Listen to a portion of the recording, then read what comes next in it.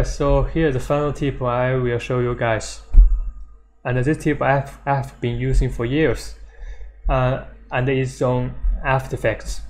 After Effects is a very good software, it's quite powerful. And uh, there is a picture I did, be, I did before, uh, years, years, be, years before.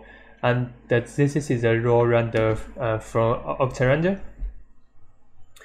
if I want to enhance the detail, but uh, I have rendered out, so what should I do? Alright, like this, this image, there's lots of uh, small details here.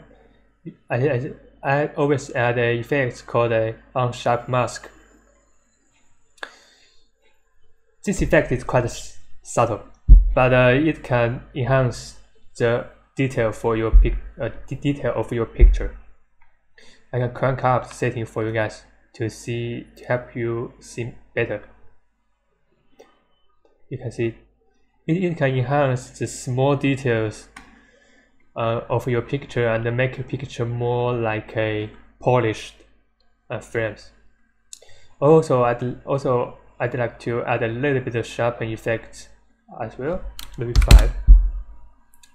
Maybe a little bit too much. All right, so so let's do a com comparison. Comparison. This is without effect, and this is the with the effect. So you can see there is a, a subtle difference between uh, the original frame and the and and and frame.